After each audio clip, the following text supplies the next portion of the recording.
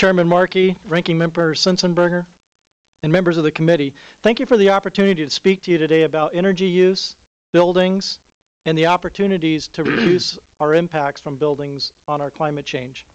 My name is Kent Peterson, and I am the current volunteer president of the American Society of Heating, Refrigerating, and Air Conditioning Engineers, better known as ASHRAE. We were founded in 1894, and ASHRAE is an international technical society with over 50,000 members in 140 countries. Our members really represent the breadth of technical professionals in the building industry, from building designers to building owners to manufacturers and building operators. You know, ASHRAE fulfills our mission by advancing heating, ventilating, and air conditioning and refrigeration technologies to serve humanity and promote a more sustainable future. Through not only our research, but our standards writing processes, our publications, and our continuing ed education programs. But turning our attention on today's topic, with increased energy costs and climate change considerations, design guidance related to energy efficiency is more important than ever. Nowhere is it more important than in the building industry, given that buildings do consume roughly 40% of the primary energy in the United States. Today, building energy efficiency still represents a vast and underutilized energy resource within the United States. Building energy efficiency is the single most important opportunity for reducing global greenhouse gas emissions. In my opinion, today's buildings mortgage our energy and environmental future. In the past, our industry really focused more on the minimum energy efficiency requirements. But today, we're really focusing beyond minimum energy efficiency requirements into green buildings. What are the requirements for people that want to build buildings that perform much better than the minimum requirements required by code? Given the concerns regarding climate change, our industry really is ongoing, undergoing a market transformation. It's going to change the way that buildings are designed, built, and operated. In the past, we have been able to provide comfortable, healthy, and safe buildings. But on the flip side, it's the energy consumed by these buildings that's helping fuel this new crisis. And it's a crisis of global energy availability, and it certainly is impacting us in the United States.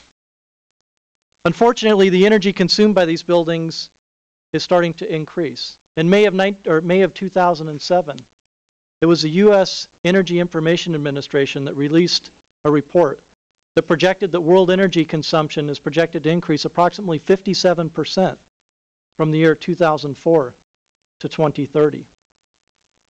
And while energy consumption and prices continue to rise, the true cost of using energy are even higher when we consider its impacts not only on climate change, but on future generations.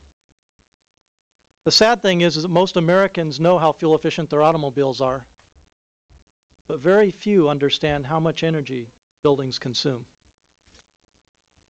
ASHRAE is working to change this in a variety of ways. We're developing significant improvements in the minimum energy efficiency requirements in ASHRAE Standard 90.1, which serves as the basis for the Model U.S. Energy Code for buildings today. We're providing advanced energy design guidance through special publications, working with partners like the United States Green Building Council, in trying to get this information out to the marketplace as free resources so not only building owners, but building designers, architects, engineers, and consumers understand what the possibilities are to build more efficient buildings than what the minimum code requires today. We're also in the process of developing a building energy label that will provide building owners and occupants with a standard energy metric that can be easily compared across different building types. It's providing these minimum code requirements and above code requirements is really what's critical to provide improved energy efficiency in buildings in the United States. We must continue on the path of our nation's buildings to be more efficient, but it's going to require significant commitment from all the stakeholders. I offer the following recommendations to ensure that we meet future requirements and demands placed on our buildings. We really do need to adequately fund the federal agencies to advance the development and enforcement of energy standards, guidelines, and technologies. We should support research and development necessary for the development and deployment of technologies necessary to achieve our nation's energy goals as we move forward. This includes technologies that are going to be envisioned under the Net Zero Energy Commercial Building Initiative that was established in the Energy Independence and Security Act of late last year. Additionally, sufficient investment is going to need to be made in research and development for renewable energy technologies as we strive for net zero carbon buildings and net zero energy buildings. We also need to enact policies and encourage individuals and businesses to implement energy efficient technologies and practices that go beyond the minimum requirements that are required by the building energy codes today. This includes the commercial building tax deduction and setting realistic depreciation schedules for heating, ventilating, and air conditioning equipment, which are currently set at 39 years. We need to continue to support the utilization of voluntary consensus standards and regulation and codes as required by the National Technology Transfer and Advancement Act. If you could uh, summarize, please. Yes. Uh, we must apply our knowledge and experience to really provide effective, practical, and innovative solutions as we try to transform the U.S. built environment to green buildings. It's been an honor to testify before the committee, and I welcome any questions that you may have.